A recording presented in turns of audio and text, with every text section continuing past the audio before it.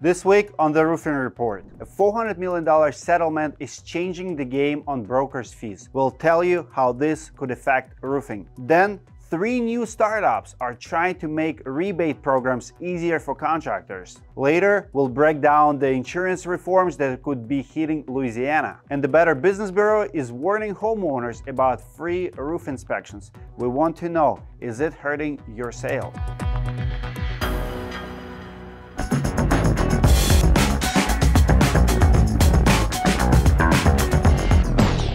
Hey guys, welcome back to the Roofing Report. We got a lot of great stories this week, but first, please help us out by liking the video down below. It truly helps. And if you have stories you want us to cover or company updates to share, send them to Sydney at roofinginsights.com. But again, like this video if you don't want us to stop making roofing news every Sunday. We need at least 500 likes on every single episode to continue moving forward with the news every Sunday. Now let's get to the news. Legal battles. First up today is a big change in housing market and it could affect the roofing too. I'm talking about the NAR settlement. NAR stands for National Association of Realtors. They recently agreed to pay $418 million and it's been all over the news. The big takeaway from this case is that starting in July, home sellers will not have to pay the standard 6% broker's fees. That fee normally gets split by the seller agent and the buyer's agent. Now it's all up for negotiation. I want to talk about how this could affect the roofing industry. But first, Here's what it means for the housing market. Yeah, talk of the town over the weekend. For anybody who's buying or selling, you want to listen up. The headline here is the National Association of Realtors, which represents 1.5 million real estate agents nationwide, agreed to settle a series of lawsuits that were brought by home sellers in Missouri and Illinois that said, look, we think you're violating antitrust laws. You're setting your commissions artificially high. So Yasmin, you know the way it works right now. You want to sell your house, you get a listing agent, and typically the commission they're going to get is somewhere in the five to six percent neighborhood. Yeah. Yes, you can say that is negotiable, and that is the case say, in some don't markets. forget you can't negotiate. You can negotiate. You can, but it's regional. And if you're in a hot market, good luck. They're going to take that 6%. They split it with the buyer's agent. Well, this settlement eliminates those cooperation agreements. Mm. Agents may still cooperate. That's up to them. But you as a consumer aren't bound to this sort of secret agreement that has been kind of holding people hostage for, gener- for gener- generations versus upending the real estate industry. So we talked to some real estate experts. They say if you are selling, then this could be really significant for you after July. If this goes through a federal court, that still has to happen. So basically, a federal court has to approve this whole deal. But if it does go through after July as a seller, you may not have to pay 6% ever again. Everything is up for negotiation. We know that more competition brings down prices, brings down commission rates. It's better for the consumer. If you're a buyer, something to consider. Your, uh, you hire an agent, you might have to pay now. That might mean you can afford a little bit less home. You might have less to put towards your down payment. Now, in some markets, sellers agents will maybe still compensate the buyer's agent. This all is not lost if you're a buyer. So all of this means there's going to be more competition when it comes to brokers' fees. Sellers will have more money to put back into the market and that could drive sales. Here's why it matters for roofers. 27% of the homeowners are replacing their roofs when it comes to the time to sell their house. 20% of sellers either repair or clean their roof. And of course, a lot of buyers do renovations too. If home sales go up, that could mean more work for contractors. Right now, all of this is still hypothetical, so I want to hear from you guys. How often are you working on a roof where the homeowner is getting ready to sell or where they just bought the house? Will more sales affect your business? Let us know why and why not in the comments below. You guys, I'm telling you, if you're tired of trying to use a bunch of different CRMs and apps, Leap is the way to go. There's so many CRMs on the market, but if you're a one-man show, this one is actually stands out and perfect for the startups. They work with the programs you already use so you can manage everything in one place. You can schedule inspection, create an estimate, take measurements, order materials, and collect payment all through Leap. I really like their pricing options. It's very accessible and they keep working with you as your business grows. Thank you Leap for sponsoring this week roofing report. If you guys on the market for new CRM for your business, check out Leap at leaptodigital.com. Tools and equipment. This next story is about new startups in solar space. If you're in solar, you already know there are a lot of rebate programs for homeowners. The problem is they can be hard to keep track of. Depending on where you are, there can be state, local, and federal rebates for installing solar. Contractors are usually the ones who have to deal with the submitting paperwork and claiming those rebates.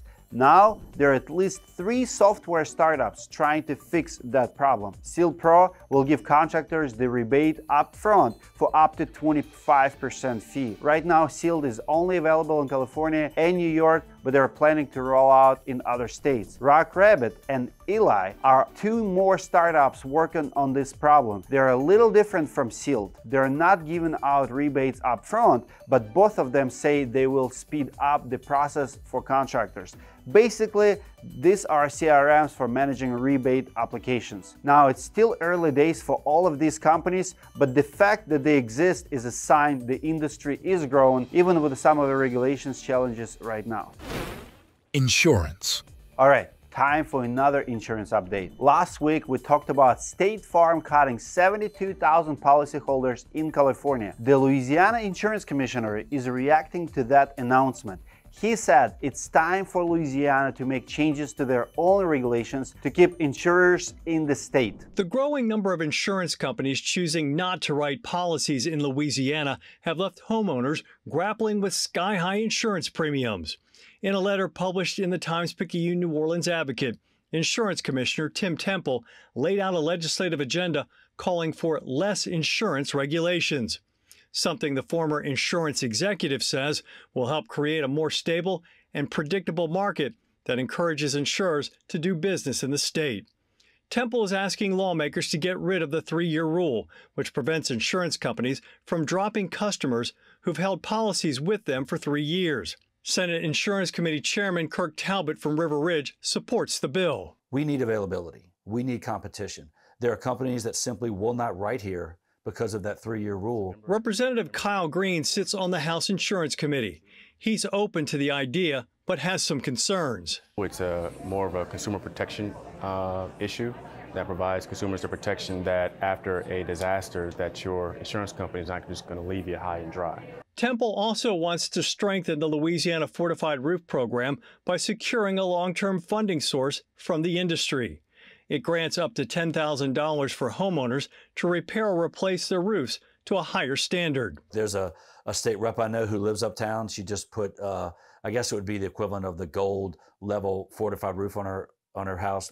50% reduction right off the bat. So he is asking for three reforms. Allow insurers to drop policies more easily, allow them to raise rates more easily, and give more funding to the Fortified Homes program. Obviously, this is a controversial issue. Homeowners are already feeling the pressure of rate hikes and being underinsured. But another side, if private insurance leave, it forces more people into state programs. That's usually a last resort, and we are already seeing those programs struggling in Florida and California. Louisiana is in a similar situation, so if they pass these reforms, they could become a test case for the rest of the country. We'll keep you updated. Fines, scams, and jail time. The next one is out of Ohio. If you watch our reports before, you know that child labor violations have been getting a lot of media coverage over the last year. The government is finally reacting to that pressure. As of January 24th, employees can be fined up to $15,000 for each child labor violation. We saw one roofer get fined for a teenager's death a few months back and now a painting company has been fined $30,000. Newbert Painting hired two 17-year-olds and let them work on roofs while painting houses. Thankfully, in this case, there were no injuries. It's a springtime and that means there are more roof scammers out there. The Better Business Bureau put out a warning to homeowners to be careful of free roof inspections. Now, this is not completely new. They have put out these alerts in the past for years. But I'm curious to hear what you guys think. Personally, I know a lot of great companies that do free inspections. Of course, there are bad ones too. I want to know if you offer free inspections, has it gotten harder to sell in the past few years? And if you stopped doing them, what was the reason? Let me know in comments. And of course, if you do charge for your inspections, you can use directorii.com to sell those. A lot of companies who are listed on directorii.com do pay service. It's perfect for someone who does not own the house, like realtors, buyers, or sellers. Someone who does not own the property yet because you don't know who you're dealing with. You don't know if the sale will go through. So, might as well in those cases charge for them. So, check directorii.com, our marketplace, create an offer, and you can be selling them. But if you are still doing it for free, comment below if it's been getting harder for you to do so. Good news. Last but not least, it's time for some good news. Level Up Roofing in Michigan is going some great work. Check it out. Level Up Roofing serves almost all of northern Michigan. Based in Alpena, they've selected one local family for a free roof replacement. Uh, just to give back to the community, um, we selected a family that we thought was um, a deserving candidate. There were definitely a lot, so it was, it was a hard decision. Um, but we're, we're happy with the decision we made and we're happy to help this family. For the Wilding family, it's a huge weight off their shoulders after patching their roof multiple times. This is huge. It's a huge burden off of my back and well, the whole family's. The biggest blessing we've ever received. The roofing project is expected to only last one day and have an estimated cost of about $8,000. Getting this kind of help is giving the Wildings a close look at how this community works together. It's made us, you know, emotional and, you know, we just can't thank them enough. I cried all the tears yesterday, so luckily I've been. We're, we're, glad that you know we live in such a great community and that they're part of that community. She cried all the tears yesterday. I absolutely love it. That's it for this week. Make sure to watch next Sunday and don't forget to like. Remember, we need at least 500 for this show to keep going every Sunday. Comment below what you think about today's news. I'll see you guys next week.